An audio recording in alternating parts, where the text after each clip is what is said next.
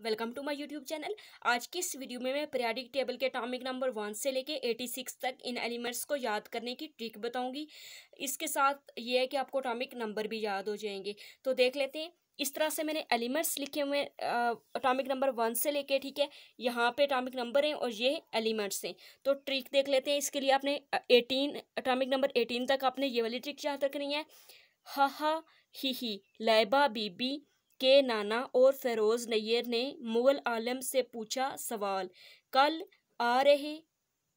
अब atomic number nineteen से लेके थर्टी सिक्स तक याद करने के लिए हमने क्या याद रखना है? कलकत्ता।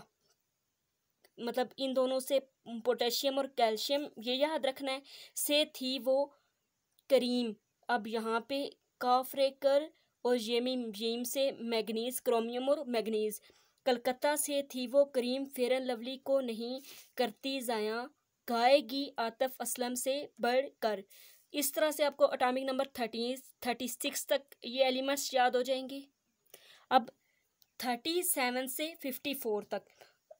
राबिया सर यूँ ज़रा नकाब मुँह से हटाना भी यहाँ पे से हटाना इसको कंप्लीट करने के लिए ट्रिक को कंप्लीट करने के लिए यूज़ किया हुआ है।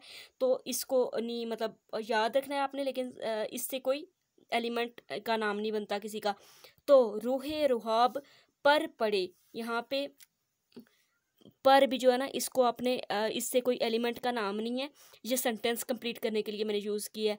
आग सी इंसान, फोर्टी नाइन आई एन इंसान ठीक है फोर्टी नाइन और फिफ्टी तो इस पूरे वर्ड से है आई एन एस एन इंसान सभी थे ही आरजी। आरजी क्योंकि इसको हम ना जीनान पढ़ते हैं तो आरजी के जवाब से इसको याद रखना है। तो यहाँ तक अटामिक नंबर फिफ्टी फोर तक ये एलिमेंट्स कंप्लीट हो जाते हैं। अब फिफ्टी फाइव से एटी सिक्स तक कैसे याद रखेंगे? अब यहाँ पे जो सी एस है बी ए इनको खुद से याद करना है, ठीक है? और आगे है लेंथनम से आगे।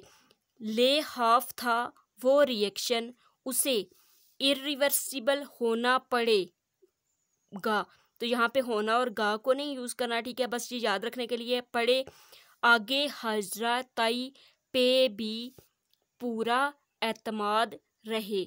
अब इस तरह से आपको एलिमेंट्स के, जो है वो अटामिक नंबर भी याद हो जाएँगे, बहुत ज़्यादा इजी ट्रिक है। Thank you so much